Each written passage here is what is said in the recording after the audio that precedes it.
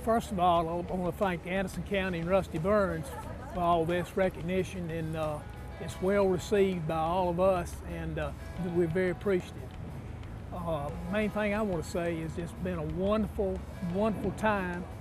for Coastal Carolina University, the state of South Carolina, the local communities in Horry and Georgetown counties, Myrtle Beach, Conway,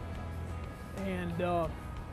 it's just been a wonderful experience. Starting off with Dustin Johnson, coastal guy, winning the United States Open this summer, and then this remarkable uh,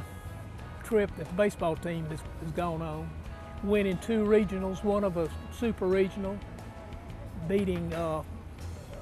teams like uh, LSU, Texas Tech,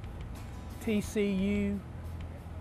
Arizona, and uh, to win it all. But uh,